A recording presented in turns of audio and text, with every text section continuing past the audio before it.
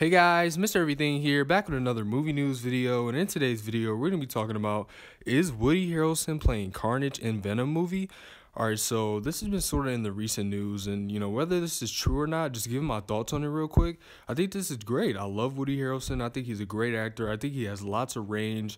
Um, you know, I love him in this movie that came out recently. I believe it came out in 2016 or 2017 called Edge of 17. He played a nice little supporting role in there, and obviously he's in the upcoming Solo, a Star Wars story um, movie. You know, the Han Solo movie. So I'm glad to see you know him getting you know all these roles, which I think is great. But um, you know, basically the main reason people are rumoring and sort of theorizing on why he may be playing Carnage in this film, yet again, I don't think there's much validity to this. But people are saying, you know, he's playing Carnage in the film basically because he joined the cast late. I believe Venom got done shooting. I want to say about a month ago. I'm not quite sure. I don't remember, but he did join the cast late. He was one of the last cast members to join the cast, and it led a lot of people to believe, oh, he must have joined the cast late. Oh, he must be playing a secret role. He must be playing Carnage. And while yes, that's just one simple reason, I do actually kind of believe it.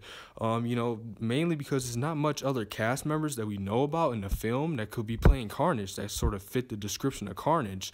You know, a lot of people thought Riz Ahmed's character, um, who Riz Ahmed actually was also in a Star Wars movie. He was in Rogue One, a Star Wars story. A lot of people thought he was going to be playing Carnage, but they confirmed no, he's going to be playing Dr. Carlton Drake, which is also a character from the comics. So, and you know, he doesn't really look like a type of carnage sort of figure, but I think Woody Harrelson, he sort of fits that description. Like I said, he has lots of range, but he sort of plays these sort of, you know, Coco sort of crazy, sort of nuts characters, which I love and he's great at playing those characters. So I think he'll fit the perfect role of Venom. And you know, other than that simple reason, you know, oh he joined the cast late.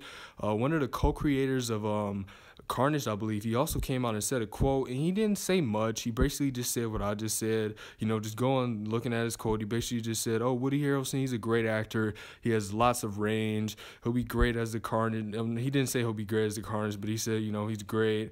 Um, you'll have to see in Nov- uh, in October when the film comes out. So pretty much he didn't say anything that I didn't just say.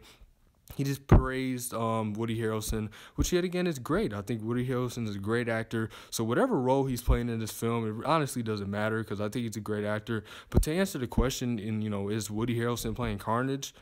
Possibly yes. Like I said, he's a great actor. He plays these sort of cuckoo, sort of crazy characters very well, and I think he could really pull off Carnage if he is secretly playing Carnage behind the scenes. But anyway, guys, you guys comment down below. Let me know what you guys think of this. Uh, be sure to like, subscribe if you guys are new. Check out my other movie news videos, Marvel videos, Venom videos, and have a great rest of your day. All right, bye, guys.